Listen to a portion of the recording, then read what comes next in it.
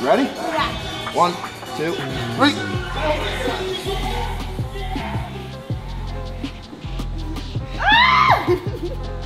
All right, so just finished the tour, did a little bit of uh, striking practice, and I have to say, uh, videos do not do this place justice.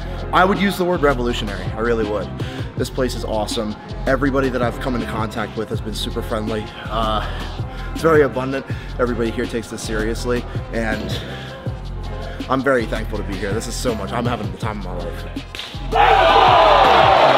Oh, what I'm doing tonight, I am doing the inaugural catching for the heavy and super heavyweight slap fight for uh, power slap. And I'll be catching somebody and keeping them safe in case worst comes to worst, they get knocked down. Power slap is tonight, live and free on Rumble.